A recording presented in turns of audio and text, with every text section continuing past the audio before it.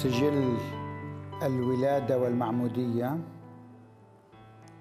نجد كريمة ابنة القس سعيد عبود ابنة بربارة بدر.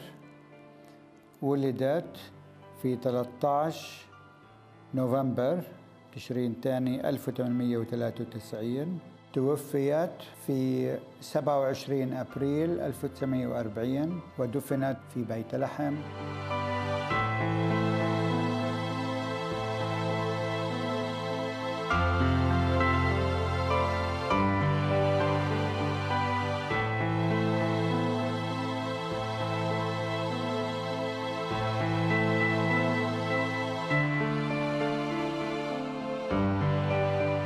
كريمة عبود ولدت وترعرعت وعاشت في بيئة فنية.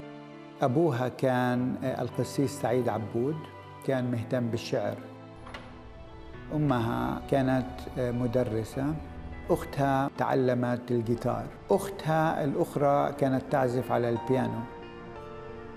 فهي عائلة فيها حس فني مرهف بكل معنى الكلمة.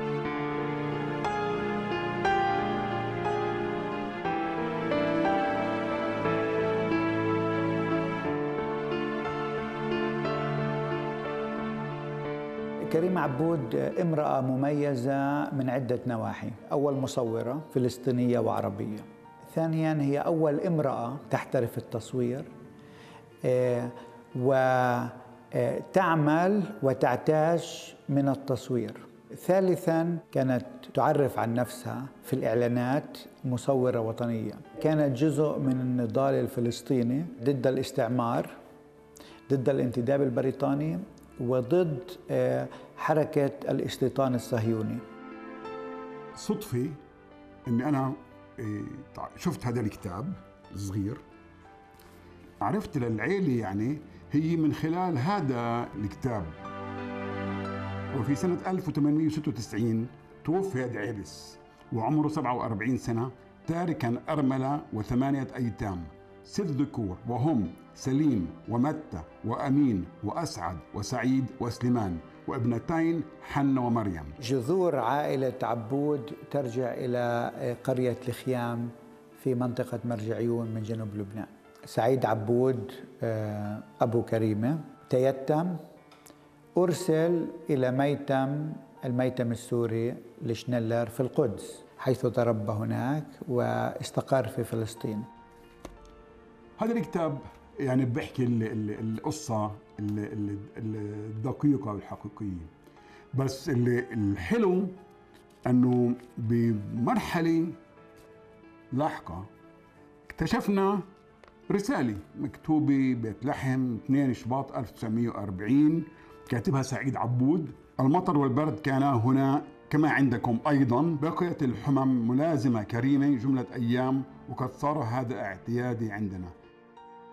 نتيجة لهي الرسائل تقدر تعرف أنها كانت العلاقة حميمة مش انقطاع. كان في رسائل وكان في كل وقت زيارات بيناتهم. كان قسم كبير من الصور اللي مصورتها كريمة. مثلا هاي الصورة كريمة مع عم تماثيل ففي في صور كثيرة اللي بتأرجي قديش العلاقة هاي كانت وثيقة وقديش كانوا مع بعضهم.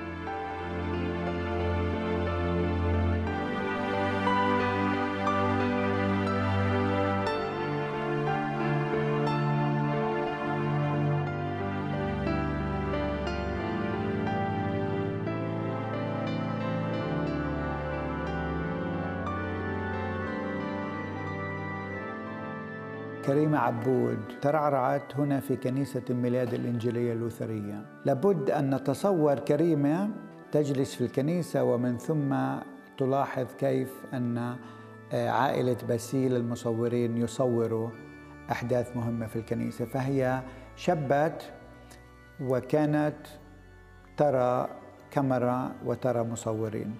بدأت عملها كمصورة بعد الحرب العالمية الأولى.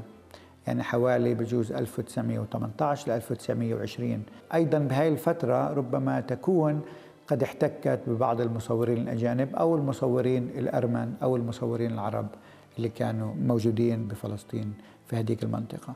الأرمن مشتتين زي فلسطينية.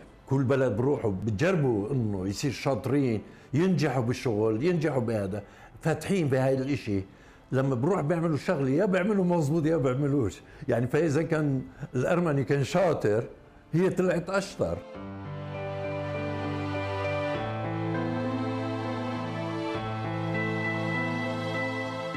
لأنها امرأة آه، استطاعت أن تعبر عن الحنان في كل صورها ففيها صورها دفء. ظهورها كامرأة كمصورة هذا في بحد بحد ذاته هو تحدي. نظرتها للتصوير بتكون مختلفة خاصة أنه كانت النساء بتلك الفترة يمتنعوا عن التصوير. يعني خذ مثلا الباسبورتات جوازات السفر. بالفترة الانتدابية كان يظهر فيها صورة الرجل ما تظهر فيها صورة المرأة إلا بالنادر. كريمة عبود كان يصور صور مناظر شوية عمارات بيوت وكذا كذا. بس أكتريته هي كان شاطرة بالتصوير بورتريت الناس وواقفين وقاعدين وعرس وكذا هيك أشياء كان شاطرة كثير فيها. كان هي عندها كان يستعمل side light جانب إضاءة كثير كثير حلو كان تصويرها.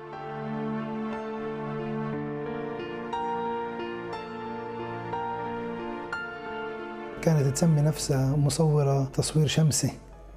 يعني هذا كان بالنادر إنه يعني نسمع أو نقرأ عن آه، فتاة آه، آه، صبية سيدة عربية فلسطينية بتمارس مهنة التصوير اللي كانت معروف إنه مهنة للرجال. الوحيدة من المصورين. كان لها أربع استوديوهات للتصوير في نفس الوقت. استوديو في الناصرة استوديو في حيفا استوديو في القدس وبيت لحم على الأكثر في آه، بيت والدها.